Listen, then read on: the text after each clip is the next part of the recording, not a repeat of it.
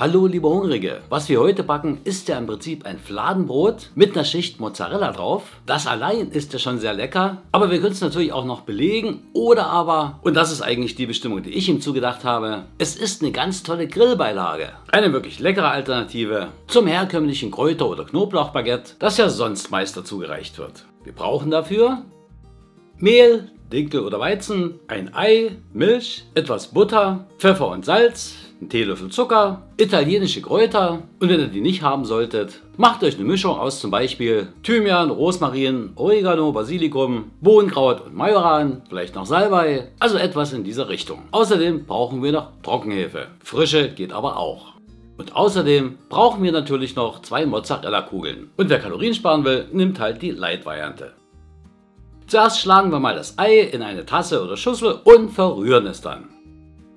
Dann wenden wir uns der Milch zu, diese etwas erwärmen, entweder im Topf oder kurz in die Mikrowelle geben.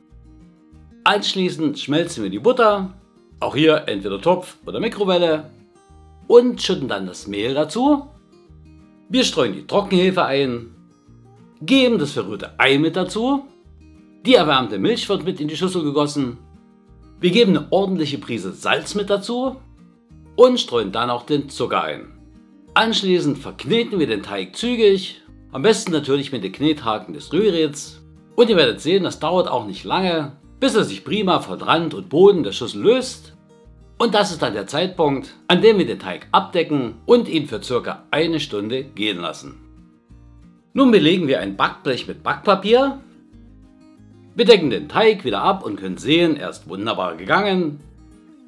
Und nun geben wir ihn gleich aufs Backblech, also das Backpapier, und formen dann mit leicht bemehlten Händen hieraus einen runden Fladen. Ihr könnt dafür natürlich die Teigrolle verwenden, aber auch so einfach mit der Hand geht das ganz schnell. Orientierungsgröße, Durchmesser ungefähr 24 cm.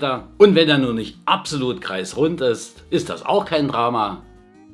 Ist der Teig dann geformt, schneiden wir schnell noch den Mozzarella in Scheiben und belegen anschließend die Oberseite unseres Teigfladens damit. Und um Langeweile entgegenzuwirken, mache ich das mal im Eiltempo.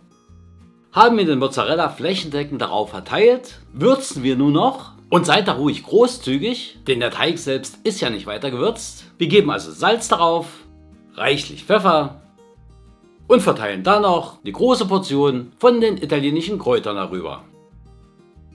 Und dann ab damit in den Ofen Gebacken wird unser Brot nun bei 180 Grad, Umluft 160 für 25 Minuten. Und so lecker sollte es danach aussehen. Duftet herrlich aromatisch. Lasst es ein bisschen abkühlen und esst es gleich warm. Aber auch kalt schmeckt es klasse. Wie gesagt, passt wunderbar zu gegrilltem. Aber auch eine Tomate schmeckt lecker dazu. Ich wünsche euch viel Spaß bei der Zubereitung und dann recht guten Appetit. Falls es allerdings lieber eine Grill-Lasagne geben soll und ihr als Nachtisch vielleicht ein Stück Erdbeerkuchen reichen wollt, dann habt ihr hier die Gelegenheit. Über euer Abo freue ich mich natürlich sehr. Bis zum nächsten Mal. Tschüss, bye bye.